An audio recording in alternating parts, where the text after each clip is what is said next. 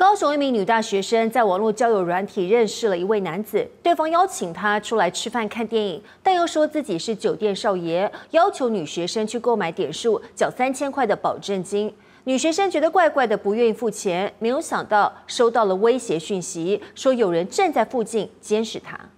远警巡逻时接获超商店员报案，有女子遭人威胁购买点数，疑似遭到诈骗，赶紧前来查看。什么事？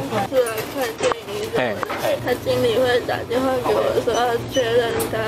就是他跟他经理请假，好，好，你不要担心哦。女子感觉吓坏了，坐在超商的地板上缩在一起，语带哽咽，跟远景说明事发过程。事情就发生在高雄，这名十九岁的黄姓女子和一名绰号为“姑姑”的男子，两个人在网络交友软体认识，聊了一阵子，相约碰面。但男子说自己是酒店少爷，外出需要缴保证金三千元，要求女子去以购买点数的方式缴纳保证金。黄女发现怪怪的，拒绝购买，没想到就收到黑道传讯。息威胁说有人在附近正在监视着，让她吓到躲超商求助。警方到场安慰他，这一切都是交友诈骗。他是为了利用你现在恐惧的这个心理，哦，让你把钱汇给他。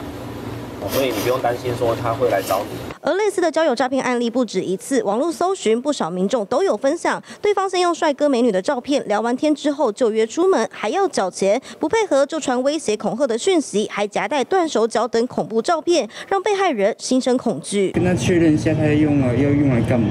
典型的假交假交友诈骗手法。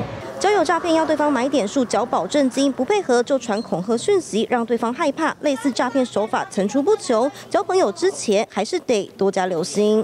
金新闻谢嘉玲、陈珊珊采访报道。立刻下载金新闻 App，一手掌握新闻时事，尽善尽美，尽好新闻。